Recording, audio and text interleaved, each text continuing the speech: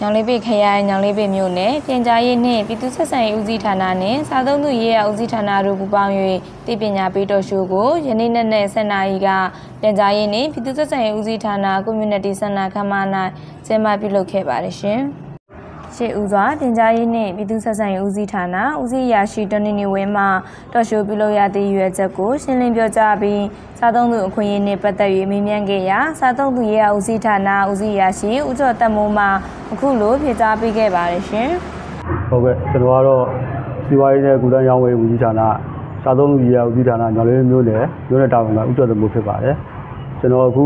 ဒီနေ့ကျင်းပတဲ့တော့ရှိုးစီစဉ်လေးမှာကျွန်တော်တို့ဝန်ကြီးဌာနရဲ့ လုပ်ငန်းတာဝန်တွေနဲ့စားသုံးလူအခွင့်အရေးအကြောင်းအရာလေးတွေကိုကျွန်တော်ဆွေးနွေးတော့မှာဖြစ်ပါတယ်ပထမဆုံးကျွန်တော်တို့စားသုံးလူရာဦးစီးဌာနရဲ့ရုံးမှချက်ကပြည်တွင်းကုန်သွယ်မှုဖွံ့ဖြိုးရေးနဲ့စားသုံးလူကာကွယ်ရေးလုပ်ငန်းများဖြင့်အမျိုးသားစီးပွားရေးတိုးတက်စေရန်ဒီမချက်အနေနဲ့ကစားသုံးမှုခွင့်ရင်းနဲ့အကျိုးစီးပွားကာဝယ်ရေးဆောင်ရွက်ရန်ကုန်စည်နှင့်ဝန်ဆောင်မှုများလုံခြုံစိတ်ချမှုရှိစေရေးဆောင်ရွက်ရန် ကုန်စည်များ၏စီရေသွေးစီမံခန့်ခွဲမှုလုပ်ငန်းများဆောင်ရွက်ရန်ဒီတွင်ကုန်သွယ်မှုဖြည့်လို့ရင်းနဲ့သူတင်များလုပ်ငန်းများဆောင်ရွက်ရန်ဆိုပြီးတော့ကျွန်တော်တို့ဦးစီးဌာနတွေတို့မှာညွှန်မှတ်ချက်တွေဒီမချက်လုပ်ငန်းတာဝန်ချမှတ်ပြီးတော့မှကျွန်တော်ကတိုင်းစာကြီးဦးစီးမှုနော်ခရိုင်ဦးစီးမှုတွေရဲ့လမ်းညွှန်ချက်အတိုင်းကျွန်တော်ကစားသုံးကာကွယ်ရေးလုပ်ငန်းတွေကိုစင်စမ်းပြလှုပ်ဆောင်ရေးလုပ်ကိုင်လေးရှိပါတယ်ကျွန်တော်တို့ရဲ့စားသုံးကာကွယ်ရေးဥပဒေကို2019ခုနှစ်မတ်လ15ရက်နေ့မှာ ပုံမှန်84ခုအခန်း25ခန်းနဲ့ဖွဲ့စည်းခဲ့ပါတယ်ဒီထဲမှာမှာကျွန်တော်တို့ရဲ့စားသုံးကာကွယ်ရေးဥပဒေမှာပါဝင်တဲ့စားသုံးသူတွေရရှိမဲ့အခွင့်အရေးရှစ်ချက်ပေါ့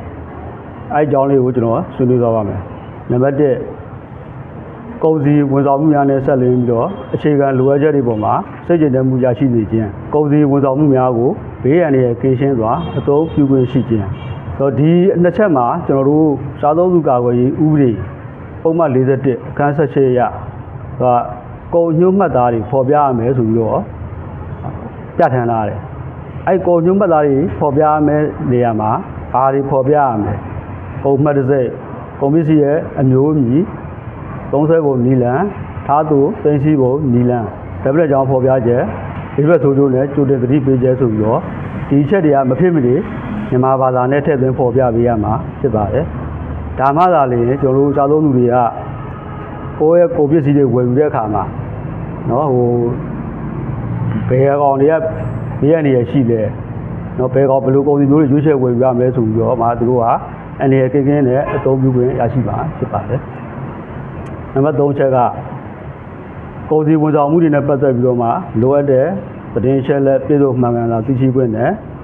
ပြည်သာဒါမှမဟုတ်အထောက်အထားရယူခွင့်ရှိရမယ်။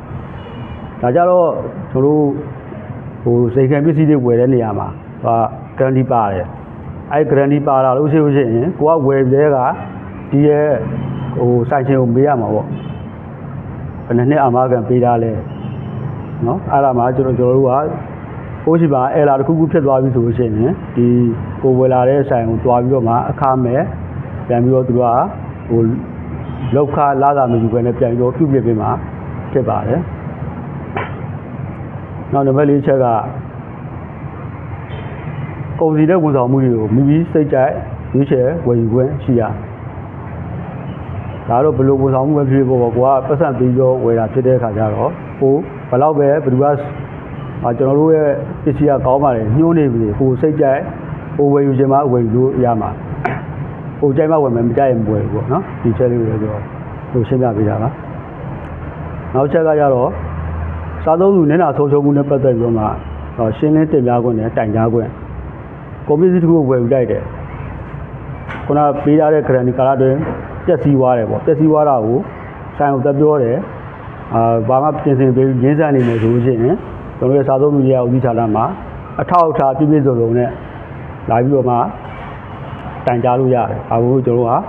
ဟိုသေချာစီစစ်ပြီးတော့မှပေးလေအောင်ဖြည့်ချင်းဆောင်ရွက်ပေးပါမှာဖြစ်ပါတယ်။ နောက်ချက်က